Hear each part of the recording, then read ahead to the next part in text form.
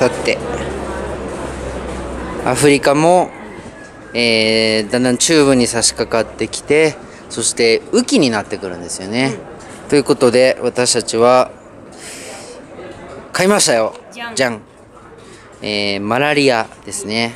マラリアなった後に飲む薬。マラリアなった後に飲む薬がこちらですね。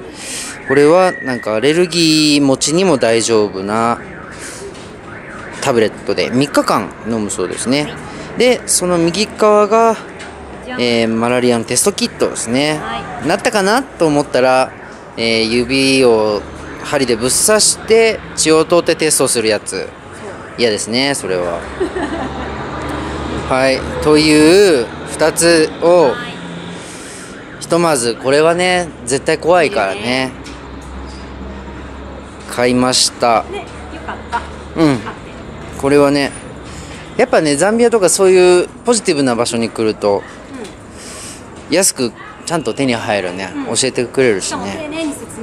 そうですね、えー、ちなみにお値段はこの2つを2人分2セット買って3000円。3000円ぐらいか。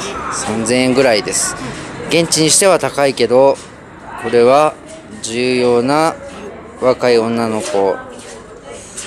違う重要な薬ですね、うん、はい。ということでこれを持ってアフリカちゃんと旅します。でも基本はなったと思ったら病院に行きましょうね。保険でタダですしねはい